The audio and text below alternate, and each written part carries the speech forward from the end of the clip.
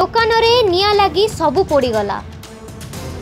ବୈପାରିଗୁଡ଼ା ଥାନା ଅନ୍ତର୍ଗତ ବାଲିଗାଁ ପଞ୍ଚାୟତ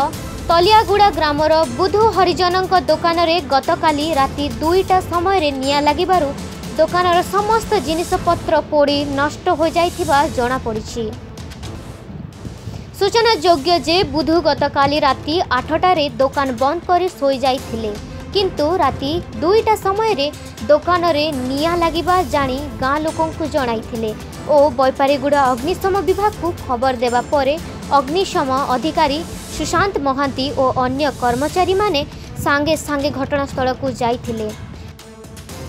ବୁଧୁ ଓ ଗାଁ ଲୋକଙ୍କ ସହ ମିଶି ନିଆଁକୁ ଆୟତ୍ତ କରିବାକୁ ଚେଷ୍ଟା କରିଥିଲେ ମଧ୍ୟ ନିଆଁ ଲାଗିବାରୁ দোকানটি সম্পূর্ণ রূপে নষ্ট হয়েছে অগ্নিশম বিভাগ কর্মচারী খবর পাই পহঞ্চিবা বেড়কু সবু নষ্ট হয়ে যাই দোকানরে থিবা নগদ দশ হাজার টঙ্কা সহ নবে রু ঊর্ধ্ব টঙ্কার সামগ্রী নষ্ট হয়ে যাই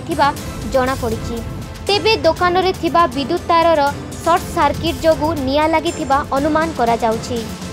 বৈপারিগুড়ারু বিক্রান্ত কুমার বেবর্তাঙ্ক রিপোর্ট ওড়িশা টাইমস